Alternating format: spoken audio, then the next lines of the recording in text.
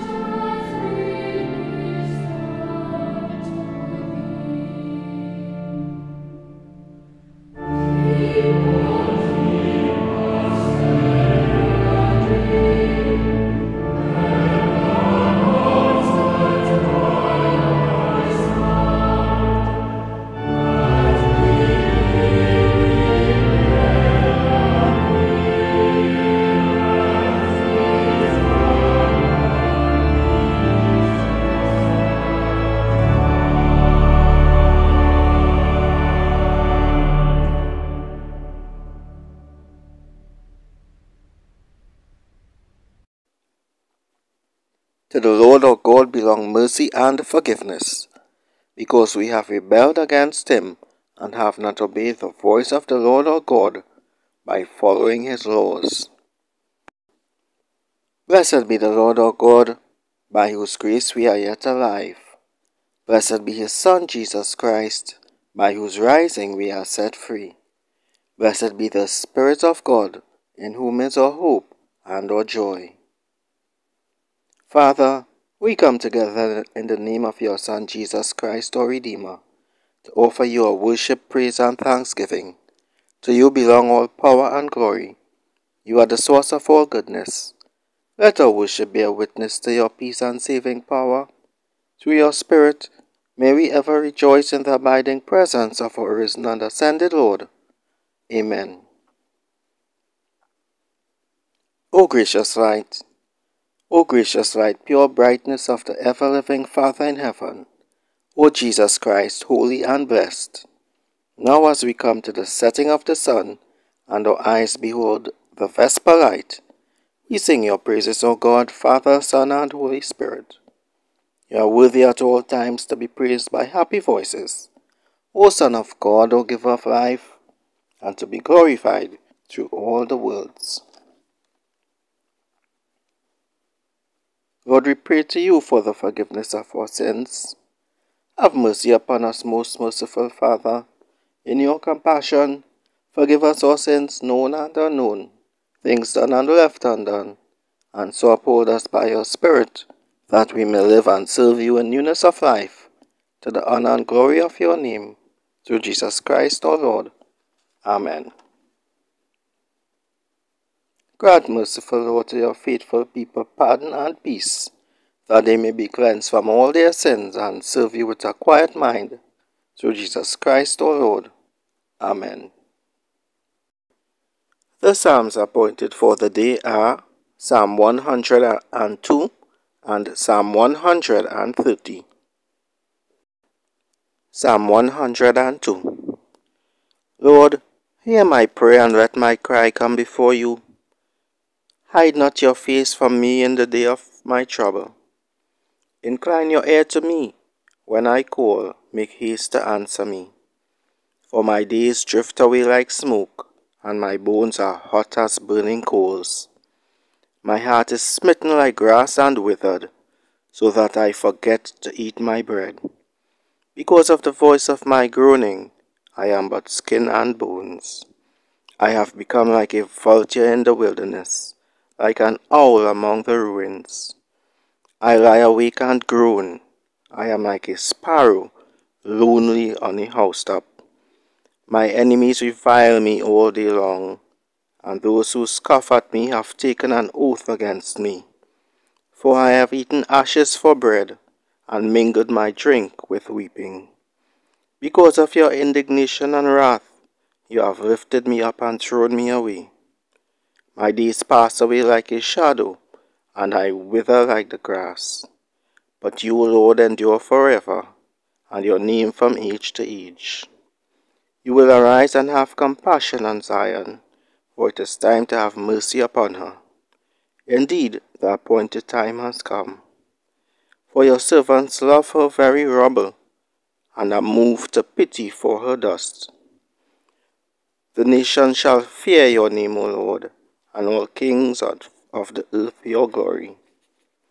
For the Lord will build up Zion, and his glory will appear. He will look with favor on the prayer of the holiness. He will not despise her plea.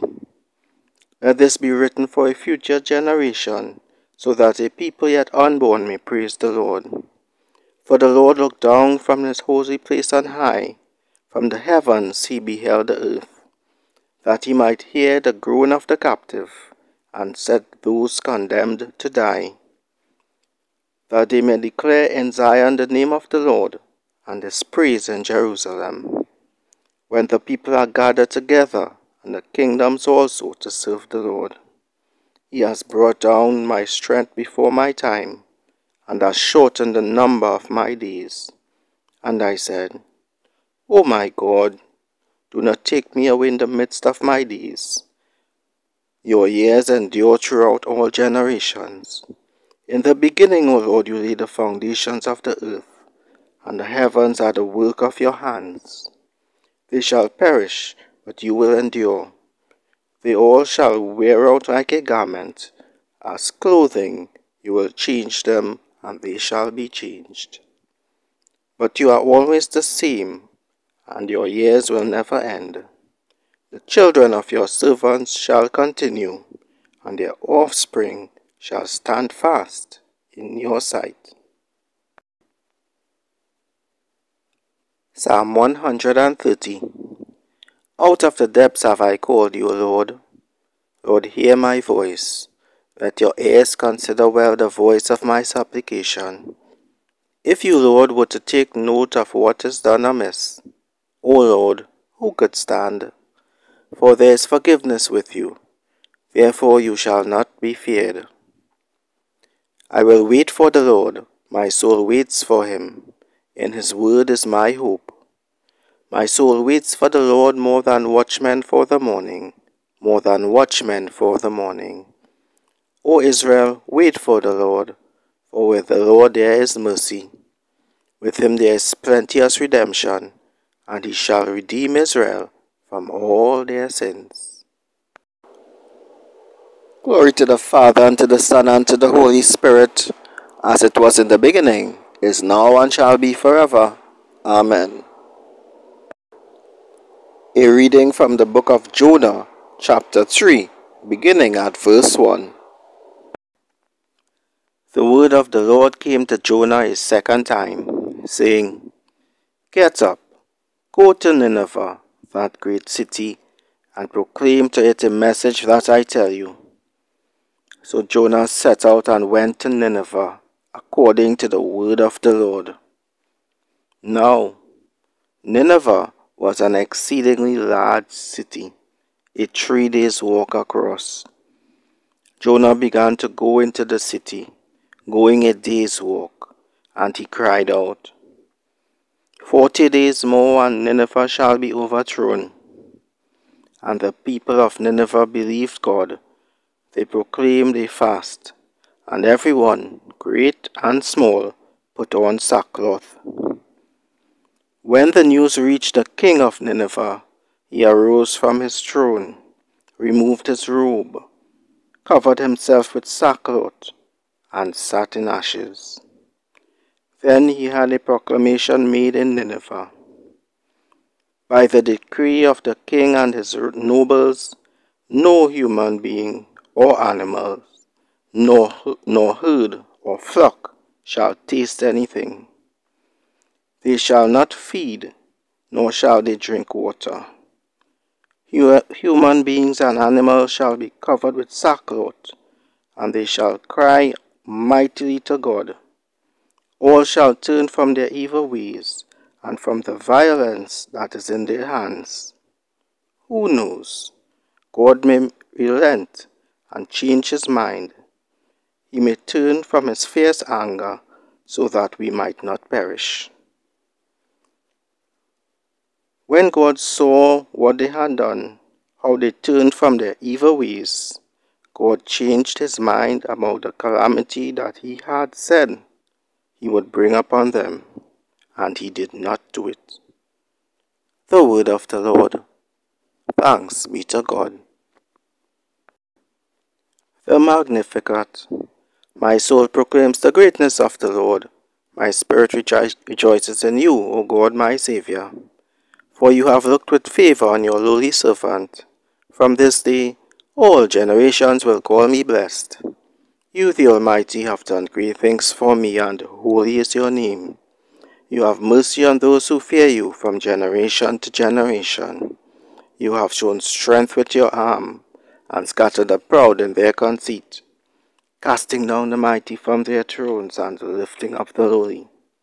You have filled the hungry with good things, and the rich you have sent away empty. You have come to the help of your servant Israel, for you have remembered your promise of mercy, the promise made to all forebears, to Abraham and his children forever. Glory to the Father, and to the Son, and to the Holy Spirit, as it was in the beginning, is now, and shall be forever. Amen. A reading from the book of Hebrews, chapter 12, beginning at verse 1. Therefore, since we are surrounded by so great a cloud of witnesses, let us also lay aside every weight and the sin that clings so closely, and let us run with perseverance the race that is set before us looking to Jesus, the pioneer and perfecter of our faith, who, for the sake of the joy that was set before him, endured the cross, disregarding its shame, and has taken his seat at the right hand of the throne of God. Consider him who endured such hostility against himself for sinners, so that you may not grow weary or lose heart. In your struggle against sin, you have not yet resisted to the point of shedding your blood, and you have forgotten the exhortation that addresses you as children. My children, do not regard lightly the discipline of the Lord, or lose heart when you are punished by him. For the Lord disciplines those whom he loves, and chastises every child whom he accepts. Endure trials for the sake of discipline God is treating you as children, for what child is there whom a parent does not discipline? If you do not have that discipline in which all children share, then you are illegitimate and not his children. Moreover, we are human parents. We had human parents to discipline us, and we respected them. Should we not be even more willing to be subject to the Father of spirits and live? For they disciplined us for a short time as seemed best to them, but he disciplines us for our good in order that we may share his holiness. Now discipline always seems painful rather than pleasant at the time, but it yields the peaceful fruit of righteousness to those who have been trained by it. Therefore, Lift up your drooping hands and strengthen your weak knees, and make straight paths for your feet, so that what is lame may not be put out of joint, but rather be healed. Pursue peace with everyone, and the holiness without which no one will see the Lord. The word of the Lord. Thanks be to God. The Apostles' Creed. I believe in God the Father Almighty, creator of heaven and earth. I believe in Jesus Christ, his only Son, our Lord. He was conceived by the power of the Holy Spirit and born of the Virgin Mary. He suffered under Pontius Pilate, was crucified, died, and was buried. He descended to the dead. On the third day he rose again. He ascended into heaven, and is seated at the right hand of the Father. He will come again to judge the living and the dead. I believe in the Holy Spirit, the Holy Catholic Church, the communion of saints, the forgiveness of sins, the resurrection of the body, and the life everlasting. Amen. The Lord be with you, and also with you. Let us pray. Our Father in heaven, hallowed be your name. Your kingdom come, your will be done on earth as in heaven. Give us today our daily bread, and forgive us our sins as we forgive those who sin against us. Save us from the time of trial, and deliver us from evil. For the kingdom, the power, and the glory are yours, now and forever. Amen. The Suffrages Lord, reveal your love among us, that we may know the joy of your salvation. Grant peace within and among all nations and teach all leaders wisdom. Endow your church with faithfulness, and the servants with knowledge and true godliness. Defend, O Lord, the rights of the poor and the oppressed, that your justice may be known among all people. Lord, renew your spirit within us, that in us and through us your will may be done. Almighty and everlasting God, you hate nothing you have made and forgive the sins of all who are penitent. Create and make in us a new and contrite heart, so that we, worthily lamenting our sins and acknowledge, acknowledging our wretchedness, may obtain of you, the God of all mercy, perfect remission and forgiveness. Through Jesus Christ our Lord, who lives and reigns with you and the Holy Spirit, one God, forever and ever. Amen. Prayer of Dedication Almighty God, we thank you for the gift of your holy word. May it be a lantern to our feet, a light to our paths, and a strength to our lives. Take us and use us to love and serve all persons in the power of the Holy Spirit, and in the name of your Son, Jesus Christ our Lord. Amen. May the God of hope fill us with all joy and peace in believing through the power of the Holy Spirit. Amen. The Lord be with you, and also with you. Let us bless the Lord.